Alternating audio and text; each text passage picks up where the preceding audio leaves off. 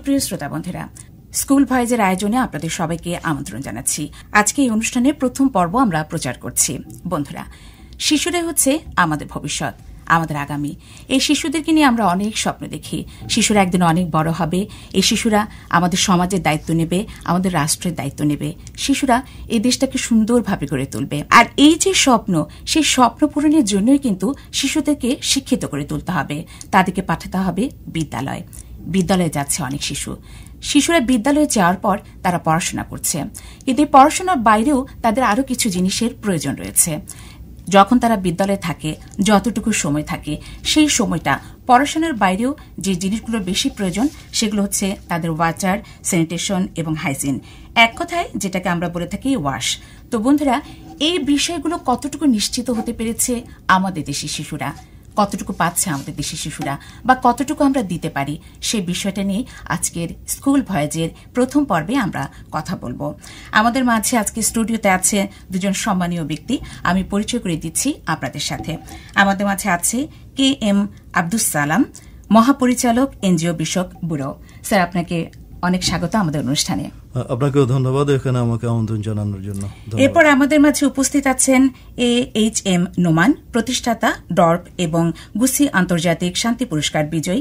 আপনি কেমন আছেন স্যার? ধন্যবাদ ভালো আছেন। আপনাদের দুজনকেই স্বাগত জানাচ্ছি আমাদের স্কুল ভয়েজের আজকের এই আয়োজনে। তো আমি আপনার কাছে প্রথমে যে প্রশ্নটি করব যে আমাদের যে স্কুলগুলোতে ওয়াটার স্যানিটেশন ও হাইজিনের ওয়াশ আর কি যে ব্যাপারটা বাস্তবিকভাবে কতটুকু গুরুত্ব দেওয়া হচ্ছে এই বিষয়টাতে? ধন্যবাদ আপনাকে। আপনি জানেন যে বর্তমান সরকার অন্যান্য সকল বিষয়ের সঙ্গে সঙ্গে শিক্ষাকে একটি সর্বোচ্চ অগ্রাধিকার দিয়ে বিভিন্ন কর্মপরিকল্পনা গ্রহণ করেছে এবং সেটি মাঠ পর্যায়ে বাস্তবায়ন করা হচ্ছে।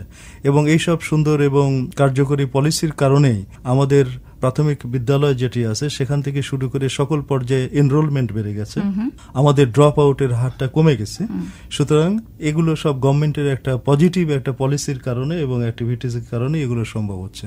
আমাদের এনজিও গুলো কাজ করছে শিক্ষার নিয়ে। বিভিন্নভাবে আমরা এনজিও গুলো প্রাইমারির এডুকেশনে কাজ করছে। সরকারের সঙ্গে সহযোগিতা, বিশেষ করে প্রাথমিক শিক্ষা যে মন্ত্রণালয় আছে, তাদের সঙ্গে সহযোগিতামূলক কাজ করছে। সরকার যেটা এখন বলছে যে আমাদের এনরোলমেন্ট বেড়ে গেছে আমাদের ড্রপ আউট কমে গেছে। এখন হচ্ছে আমাদের যেটা কোয়ালিটি এনশোর করতে হবে। সকল ক্ষেত্রে কোয়ালিটি এনশোর করতে হবে। এই কোয়ালিটি এনশোর করতে যে ফার্স্ট যেটা হলো তাদের জন্য ছাত্র ছাত্রীদের জন্য একটা সুন্দর একটা শিক্ষার পরিবেশ স্কুলে যেন গড়ে তোলা যায় সেটির জন্য সরকার সর্বোচ্চ পদক্ষেপ নিচ্ছে।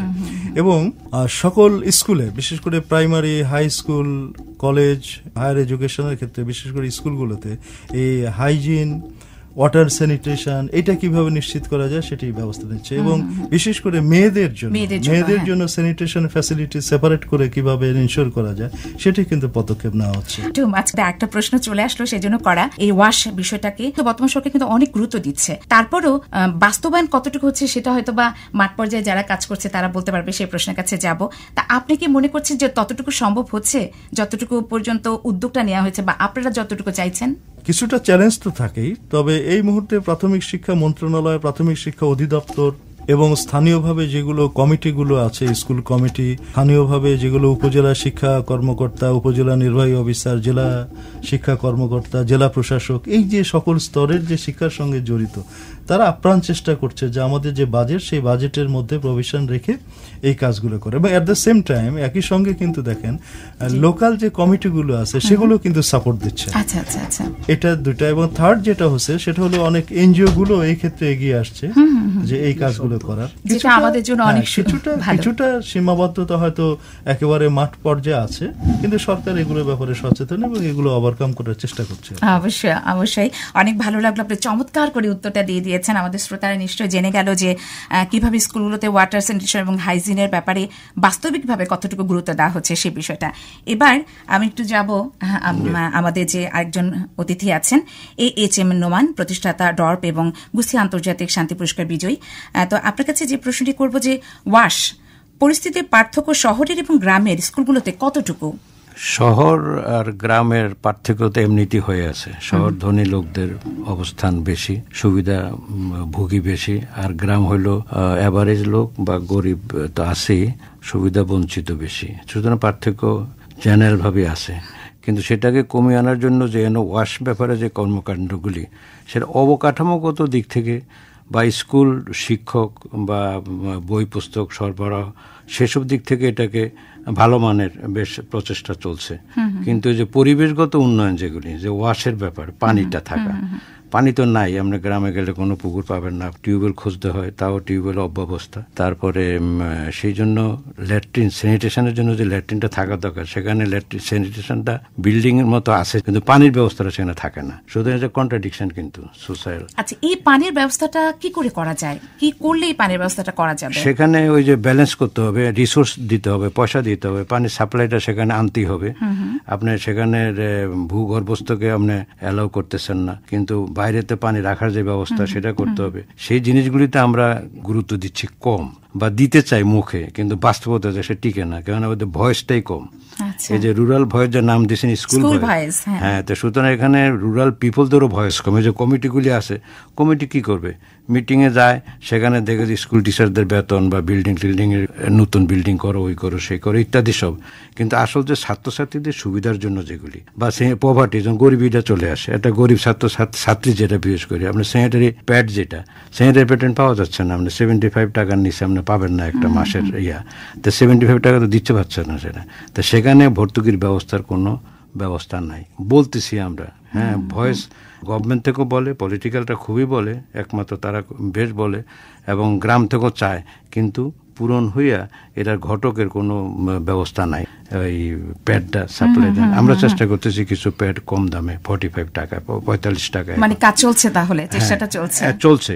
তো আমি আবারও আপনার সাথে কথা বলব। এই মুহূর্তে আমি আবারও যাব কে ইন্দুস সালামের কাছে স্যার আপনাকে যে প্রশ্নটা এবার করব সেটা হচ্ছে যে সরকার বিভিন্ন উন্নয়ন সংগঠন কিংবা স্কুল নিজে তার ওয়াশ পরিস্থিতি উন্নয়নে কি ধরনের পদক্ষেপ নিতে পারে? যে পদক্ষেপগুলো নিলে আমাদের এই যে সমস্যাগুলো সেগুলো সমাধান করা যাবে খুব সহজে। ধন্যবাদ। আসলে আমি আপনার এই প্রশ্নের জবাবের আগে আমাদের নোমান সাহেব যে প্রশ্নের জবাবটা দিলেন তার বিষয়ে একটু অ্যাড করতে চাই আপনাদের। সেটা হলো যে দেখেন গ্রাম এবং শহরের পার্থক্য যুগ যুগ ধরে বিভিন্ন সভ্যতার বিভিন্ন দেশের মধ্যে সবসময় হয়ে আসছে। রুরাল এবং আরবান এই যে ডিফারেন্স এটা কিন্তু বিশ্বের সব জায়গায় একটি ডিফারেন্স আছে। এবং আমাদের বাংলাদেশে হয়তো এটা ব্যতিক্রম কিছু নয় হয়তো একটু ডিফারেন্স আছে। গ্রামের মানুষ দরিদ্র মানুষ বেশি রুরাল ইকোনমির তার নেচারটা আলাদা ধরনের কৃষি নির্ভর অর্থনীতি সব কিছুই আছে। তারপরে কিন্তু একটি দেখেন খুবই আশাবাঞ্জক কথা। আমাদের মাননীয় প্রধানমন্ত্রী কিন্তু এবার একটি চমৎকার ঘোষণা দিয়েছেন যে প্রত্যেকটা গ্রামকে শহরে রূপান্তরিত করতে হবে। হ্যাঁ, এই যে ঘোষণাটা এটা কিন্তু কোনো মুখের কথা নয়। এটা ইমপ্লিমেন্ট করার চেষ্টা করা হচ্ছে এবং সরকার পর্যায় থেকে বেশ কিছু গ্রামকে সিলেক্ট করা হচ্ছে প্রথম পর্যায়ে যেগুলো একেবারে শহরের আদলে করা হবে আর কি। তাদের ভৌত সুবিধাগুলো তাদের রাস্তা সড়ক স্কুল সবকিছু মিলে এক একটি গ্রামকে শহরের একটা আদলে গড়ে তোলা হবে। এই যে মাননীয় প্রধানমন্ত্রীর ঘোষণা এবং এখান থেকে আমরা অনেকটা টেম্পটেড আমরা যারা এই জেনারেশন আছি তখন আমাদের কাছে মাঝে মাঝে মনে হয় যে আমরা যদি গ্রামে ফিরে যাই এই চাকরি শেষে বা কর্মজীবন শেষে তাহলে গ্রামের মানুষের অনেকটা কল্যাণ হবে উপকার হবে। যা হোক তো এই যে বিষয়টা এই পার্থক্যটা সরকার চেষ্টা করছে যে পার্থক্যটা গ্যাপটা কীভাবে আরও কমিয়ে আনা যায়। গভর্নমেন্টের আপনি যদি প্রাথমিক শিক্ষা অধিদপ্তরের দিকে নজর দেন তাহলে আপনার যে প্রজেক্ট ফোর সম্ভবত তাদের যে এখন যে শিক্ষার প্রাথমিক শিক্ষার যে একটা প্রজেক্ট করা হয়েছে সেখানে সর্বোচ্চ টাকার ওখানে বরাদ্দ রাখা হচ্ছে। এবং সব হলো যে আপনার এই প্রাইমারি শিক্ষা বিশেষ করে রুরাল যে প্রাইমারি স্কুলগুলো আছে সেখানে এই সুবিধাগুলো দেওয়া। এবং এর ভিতরে আপনার স্যানিটেশন আছে হাইজিন আছে ওয়াটার আছে সবকিছু মিলেই কিন্তু এই প্রজেক্টগুলো নেওয়া হচ্ছে। কাজে গভর্নমেন্ট কিন্তু চেষ্টা করছে টাকাটা রুরাল লেভেলে কিন্তু মানি মনিটরি যে ইনফ্লো সেটা পৌঁছে দেওয়া এবং এটা ব্যয় করা।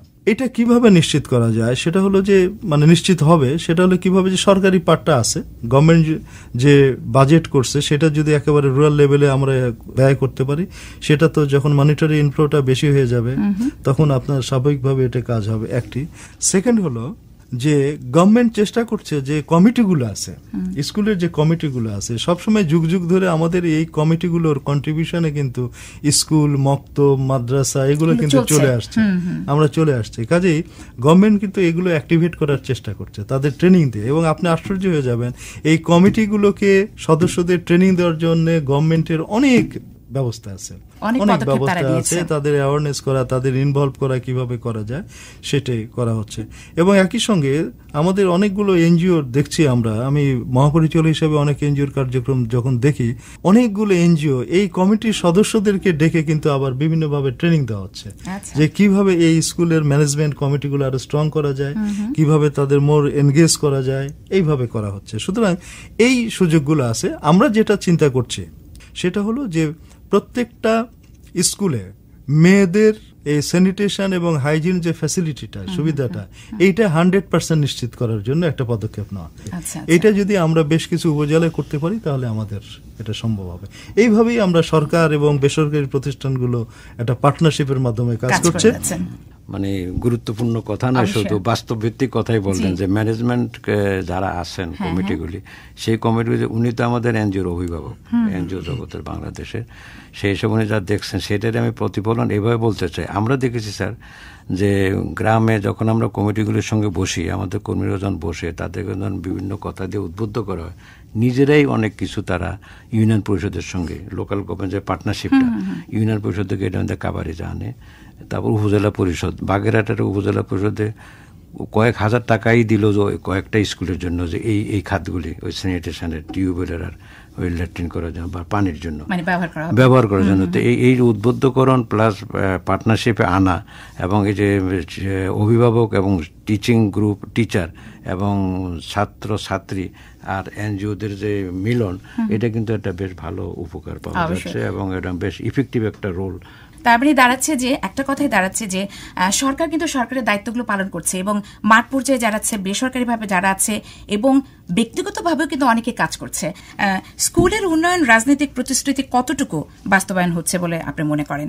রাজনৈতিক? হ্যাঁ, রাজনৈতিক। না এটা তো অবশ্যই রাজনৈতিক সিদ্ধান্ত ছাড়া বা রাজনৈতিক ইচ্ছা ছাড়া বা রাজনীতির ব্যক্তিদের বা সাংগঠনিক লোকদের কোন রকমের ইচ্ছা না থাকলে হতেই পারে না। সেটা বঙ্গবন্ধুর শিষ্য হিসাবে বা এই দেশে উনি জাতির পিতা হিসাবে তার দেশের আমরা যারা আছি অনুসারী। তো এটা তো শিক্ষাই আমাদের মুক্তিযুদ্ধের থেকে এসে গেছে। তো সুতরাং রাজনৈতিক অঙ্গীকার অবশ্যই আছে এবং সেই অঙ্গীকারগুলি আমার কথা কিন্তু বারবার আমি বলতেছি। পভার্টিটাকে বিশেষ করে ডিসপ্যারিটি যেটা মানে এই যে বৈষম্য এই যে শহর এবং গ্রামের এই বৈষম্যের জন্য টাকা বাজেট অবশ্যই গ্রাম পর্যায়ে এসব পরিবেশ পরিবর্তনের জন্য দিতে হবে। আমার জোর করতে হবে সেখানে। বাজেট। আসতে হবে গ্রাম পর্যায়ে হ্যাঁ। পরিবেশ উন্নয়নের জন্য। অবকাঠামো আর এই যে বেতন বৃদ্ধি শুধু শুধু নয়। আচ্ছা, আচ্ছা। সেটা থাকবে হ্যাঁ। লাগবে কিন্তু ম্যাচ করতে হবে ওইটা দিয়ে নাহলে বৈষম্য বেড়ে যাবে। বেড়ে যাবে। এবার আবারও যাব আমি কে এম আব্দুল সালামের কাছে। আমাদের সময়ও কিন্তু একদম ছুটছে শুধু শেষের দিকে ছুটছে। তা আপনাকে যে প্রশ্নটি এই মুহূর্তে করব আর কি সরকারের যে শুদ্ধাচার নীতিমালা রয়েছে সেখানে স্কুলের উন্নয়নে কি ধরনের পদক্ষেপ নেওয়া হচ্ছে এবং এনজিও ব্যুরো কি ধরনের ভূমিকা রাখছে বলে আপনি মনে করেন? বর্তমান সরকারের শুদ্ধাচার কৌশলটা একটা চমৎকার একটি ধারণা। এই কৌশলের মাধ্যমে সকল পর্যায়ে এটা সরকারি বেসরকারি পর্যায়ে স্কুল প্রতিষ্ঠান সরকারি প্রতিষ্ঠান সকল পর্যায়ে কিন্তু শুদ্ধাচারটা কীভাবে চর্চা করা যায় এবং স্পেসিফিক কিছু ইনস্ট্রাকশন দেওয়া আছে সেটি কিন্তু ক্যাবিনেট ডিভিশনের আন্ডারে একটি কাজ হচ্ছে। এবং স্কুলগুলোতে অবশ্যই বলা হয় যে এবং এই যে স্কুলগুলোতে শুদ্ধাচারের যে চর্চা করা এটা কিন্তু মিনিস্ট্রি ওয়াইজ কিন্তু এটা করা হচ্ছে এবং সেটি জেলা প্রাথমিক শিক্ষা অফিস উপজেলা শিক্ষা অফিস এইসব মিলে কিন্তু এই কাজগুলো করা হচ্ছে। সুতরাং গভর্নমেন্ট এই শুদ্ধাচারের শুধু স্টেপ নয় একটি কালচার গড়ে তোলার জন্য সার্বিকভাবে চেষ্টা করছে। আমরা একেবারে আয়োজনের শেষের দিকে চলে এসেছি। ছোট্ট করে আবারও একটা প্রশ্নের কাছে যাব। স্কুলের অবকাঠামো ও আর্স পরিস্থিতি উন্নয়নে স্কুল ম্যানেজমেন্ট কমিটির জবাবদিহিতার একটা জায়গা কিন্তু আছে। সেটা কতটুকু হচ্ছে বা কীভাবে নিশ্চিত করা যায় বলে যদি একটু সংক্ষিপ্ত আকারে বলতেন? এটা আমি একটু আগবত বলি জবাবদিহিতা অবশ্যই আছে কিন্তু সেখানে জবাবদিহিতার সঙ্গে যে বাজেটের দরকার টাকার দরকার সেই টাকাটা কিন্তু ওখানে যাচ্ছে না। শুধু অবকাঠামোর জন্য টাকা যাচ্ছে। সুতরাং এখানে গুরুত্ব দিতে হবে যাতে সামাজিক উন্নয়নের জন্য তো রসদ দেওয়ার ব্যবস্থা নেওয়ার করতে হবে শুধু দালান কোঠা নয় মানুষকে রসদ দিতে হবে ছাত্রীদেরকে ছাত্রদেরকে এবং এই কমিটিকে। সেই রসদটা দিলে এটা এগিয়ে যাবে। তো ম্যাচ মেকিং হবে। থ্যাংক ইউ শ্রোতা বন্ধুরা আমরা আজকে এর আয়োজনের অর্থাৎ স্কুল ভয়েজে প্রথম যে পর্বটি ছিল সেটির একদম শেষের দিকে চলে এসেছি। আমাদের মাঝে এতক্ষণ উপস্থিত ছিলেন কে এম আব্দুল সালাম মহাপরিচালক এনজিও বিষয়ক ব্যুরো এবং এ এইচ এম নোমান প্রতিষ্ঠাতা ডর্প এবং গুসি আন্তর্জাতিক শান্তি পুরস্কার বিজয়ী। আপনাদের দুজনকে অনেক অনেক ধন্যবাদ জানাচ্ছি আমাদের বাণিজ্যিক কার্যক্রম বাংলাদেশ বেতারের এই অনুষ্ঠানে আসার জন্য।